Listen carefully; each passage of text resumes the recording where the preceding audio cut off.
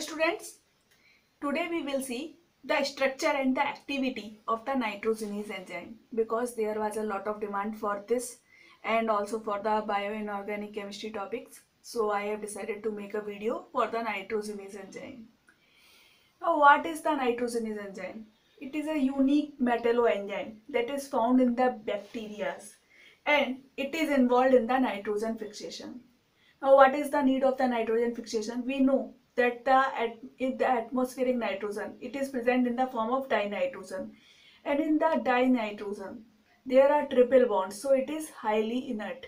And it cannot be used by the organism as it is. It is not used in the biosynthesis. So it should be transformed to the ammonia.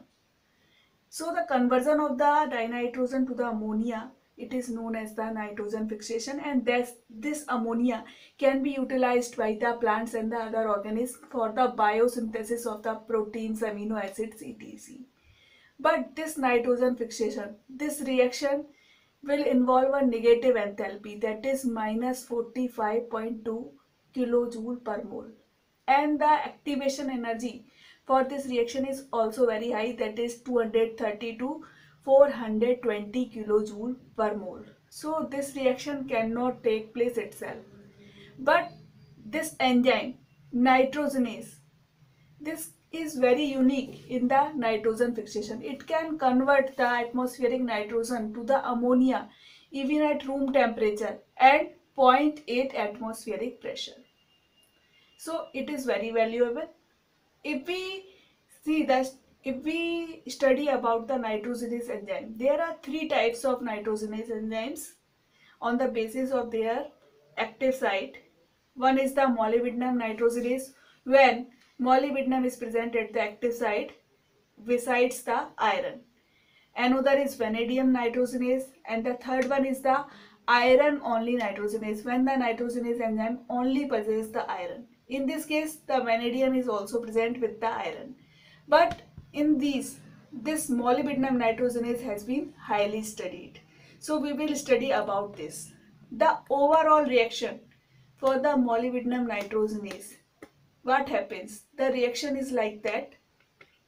N2 plus 8H plus plus 16 Mg ATP plus 8 electrons.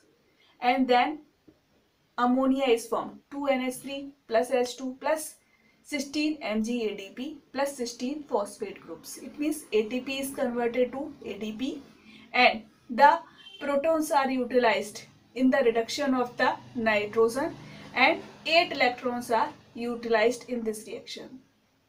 These electrons are provided from the pyruvate. It means the reducing power is the pyruvates and these electrons are transferred via the electron transfer enzymes like ferredoxin or flavodoxin. Now we see the structure of the nitrogenase enzyme. It consists of two types of protein. One is the homodimeric iron protein. What is meant by homodimeric? It means it is a dimer. It consists of two units and homo means both the units are identical. So it is a dimer containing two identical subunits and each unit possesses Fe4S4 cluster. So there are two Fe4S4 clusters and the molecular weight of it is approximately 60,000. The function of this protein is to transfer electrons from the reducing agent such as ferredoxin or flavodoxin to the iron molybdenum protein that is the another protein. Now we see this protein. The another protein is the heterotetrameric molybdenum iron protein it means it is a heterotetrameric. It means it is a tetramer. Four units are present, but four units are not identical. There are two alpha units and two beta units. And the molecular weight of this protein is approximately 2,20,000. Now this second protein, the molybdenum iron protein consists of one P cluster it further consists of two iron sulfur clusters and another a iron molybdenum cofactor. Firstly, we see the structure of this cofactor, then we see the structure of the P cluster. The iron molybdenum cofactor. its uh, formula will be Fe7MOS9C. This cofactor consists of two fragments. One fragment is MoFe3S3 and another factor is one fragment is MoFe3S3 and the another fragment is Fe4S3.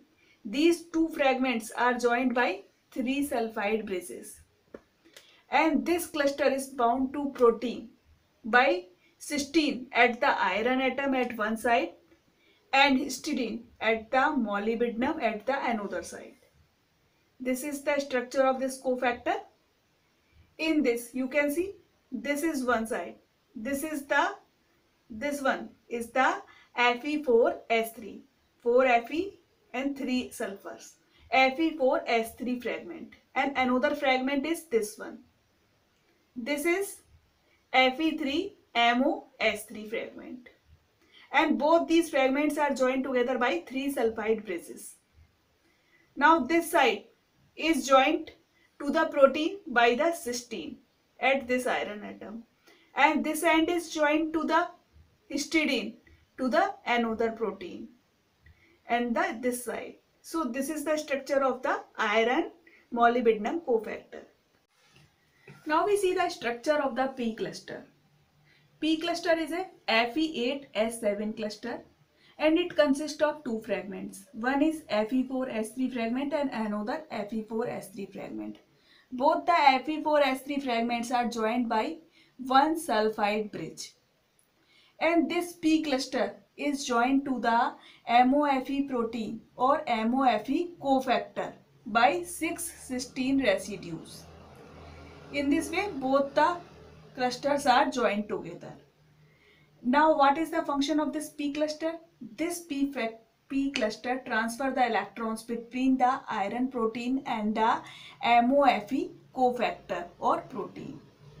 So, what happens? The electrons are firstly transferred from the flavodoxin or ferredoxin to this iron protein. From there, it are transferred to P cluster and then from here to the MOFE cofactor. Now we see the activity of the nitrogenase enzyme. As we have seen in the reaction that for the reduction of one molecule of N2, 8 electrons are required. And these electrons are transferred from pyruvate via ferredoxin or flavodoxin. The Fe4S4 cluster of the iron protein undergoes one electron redox cycle. It means it will cycle between two oxidation states Fe4S4 plus 2 and Fe4S4 plus.